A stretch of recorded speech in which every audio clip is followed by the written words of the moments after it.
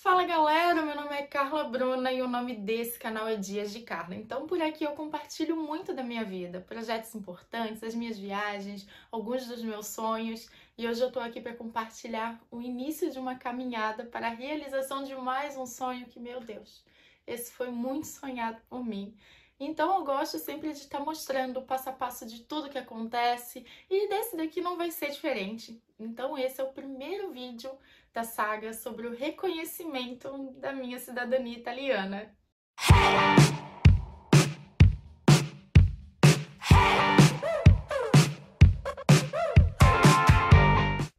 Basicamente, tudo que está acontecendo aqui é muito recente. E eu quero que vocês realmente acompanhem o passo a passo, porque eu assinei o contrato essa semana, então já estou aqui contando para vocês e aos pouquinhos eu vou trazendo informações sobre o meu processo, né? E também sobre essa questão de cidadania italiana. Lá no Instagram também quero compartilhar algumas coisas com vocês. Se você ainda não me segue, aproveita aí, me segue lá no Instagram, que eu estou sempre trazendo às vezes algumas coisas em primeira mão, porque aqui no YouTube eu preciso gravar, editar certinho, às vezes demora um pouquinho, mas aqui eu trago as coisas com muito detalhe.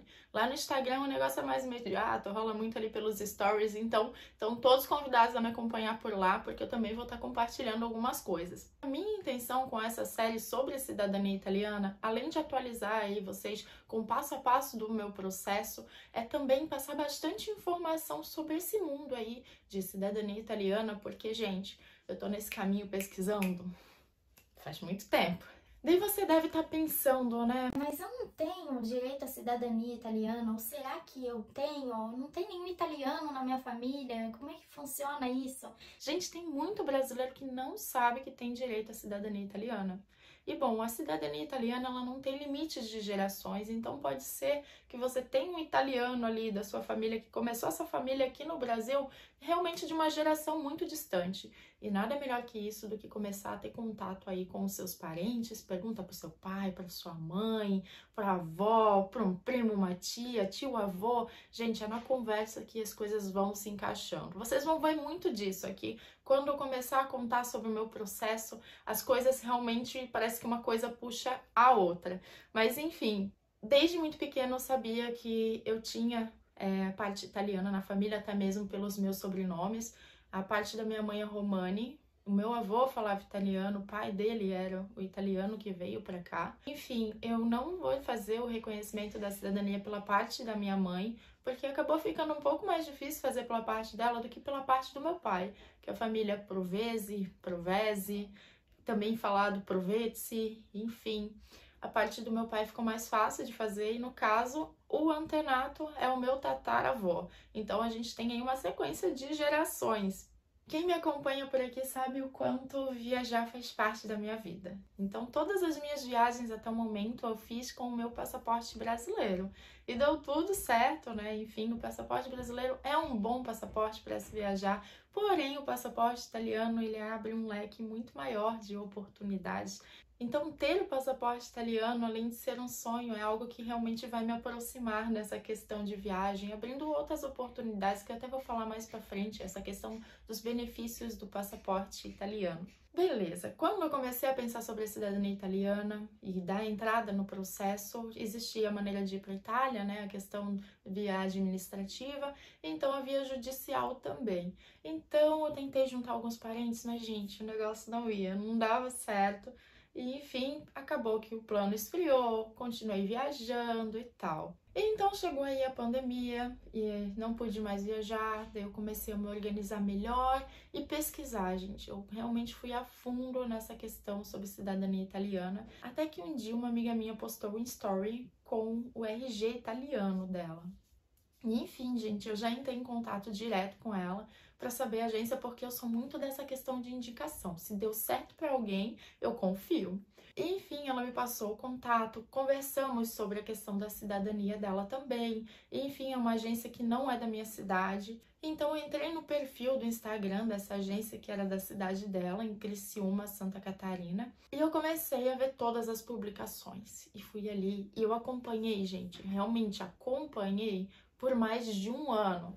Eu pensei, quando eu der entrada no reconhecimento da minha cidadania, eu vou escolher essa agência, porque realmente me passou muita confiança. Então, depois de ver, pesquisar, pesquisar bastante, eu pensei, já que ninguém quer fazer comigo, eu vou para Itália e vou fazer sozinha isso daí.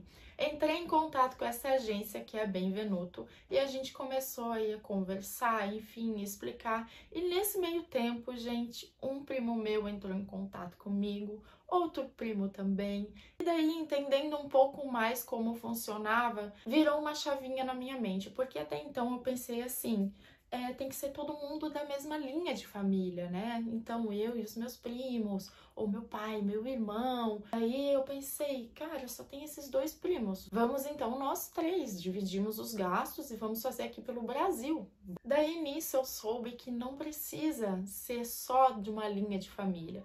O que acontece tendo o mesmo antenato, no mesmo, no caso o mesmo italiano, qualquer linha da família desse italiano pode entrar no mesmo processo. Então nós começamos aí atrás de pessoas com o mesmo sobrenome, fomos nos conectando e nos conectando, pessoas que nós temos aí o, o mesmo antenato, mas somos de famílias totalmente diferentes. Tem pessoas que eu não conhecia.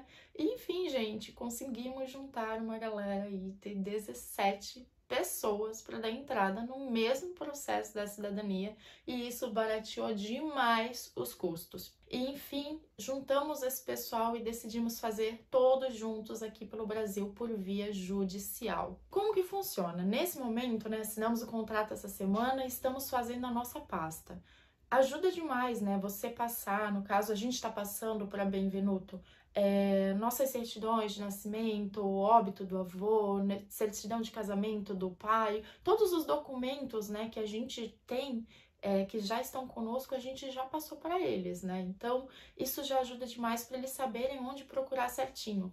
Agora, o que nós não temos acesso a Benvenuto, no caso que é a agência que nós escolhemos está indo atrás. E o primeiro momento, então, a gente monta essa pasta. A pasta estando pronta, daí vem a questão de mandar os documentos para a Itália e começar essa questão do reconhecimento da cidadania na parte da Itália. Feita essa parte do Brasil, começa então lá.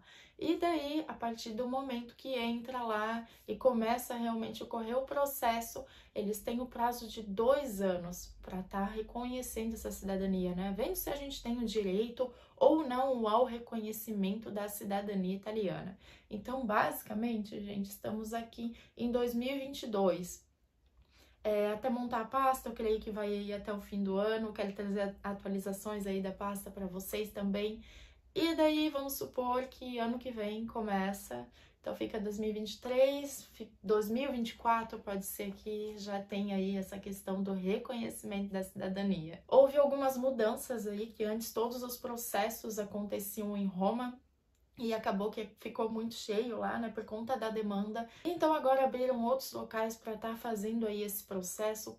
Pode, e eu espero que aconteça, que saia mais rápido do que estamos planejando, pelos fóruns não estar tão cheios é, de tantos pedidos aí para reconhecimento de cidadania. Bom, agora que você já sabe mais ou menos como é que tá rolando essa minha questão do processo, acompanhando realmente desde o iníciozinho, tendo as primeiras informações, vou pedir para deixar o likezinho maroto para fortalecer o vídeo e fazer ele chegar a mais pessoas que desejam realmente entender um pouquinho melhor como é que funciona essa questão de dar entrada na cidadania italiana. E agora eu vou falar para vocês os benefícios de ter um passaporte italiano, já começando de cara que ele é o quarto passaporte mais poderoso do mundo.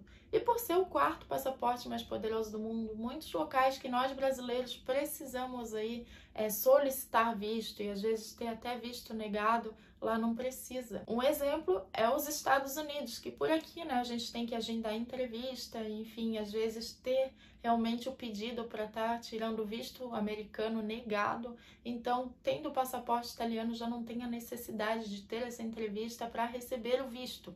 Com a cidadania italiana, nós temos o direito de estudar e morar nos 28 países da União Europeia.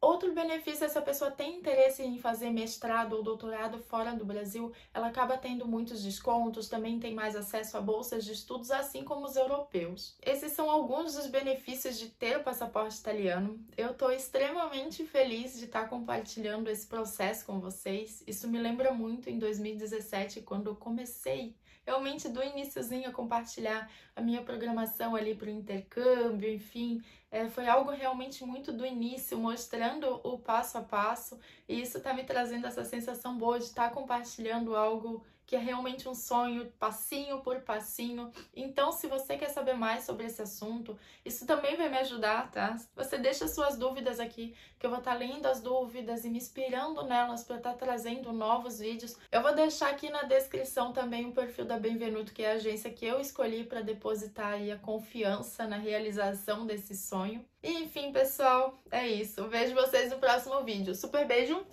e até logo!